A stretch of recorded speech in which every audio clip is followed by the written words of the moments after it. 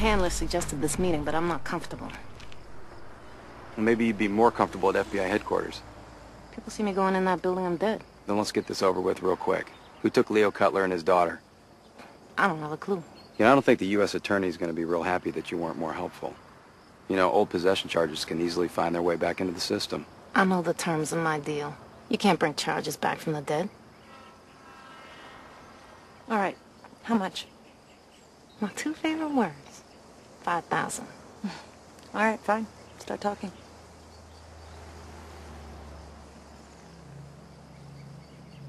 Leo worked one job for me.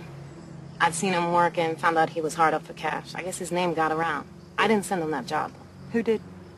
I don't know. But Leo came back at me a few days later looking for a favor. Turning into a stalker? I'm here for two things. First, don't ever send a body to my house again. My daughter was there. That job didn't come from me. I can't control what shows up on your doorstep. The second? Second, I did your dirty work. Now I need a favor. I'm listening.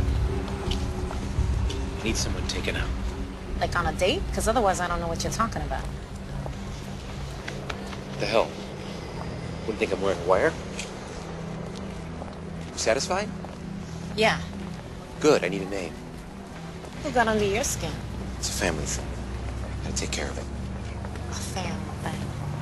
No, go home to your wife. Rent a movie. You owe me. You don't have what it takes to put me in your debt. Look, I'm a good judge of people. Whatever problem this is you're looking to solve, this isn't the way for you. I didn't give him what he wanted, so we left. You sure you don't know who the guy was that went to Cutler's house? Sounds like Alonso Santa Cruz, out of Newark. But that's just a guess. Can I have my money? You're gonna have to sign a receipt.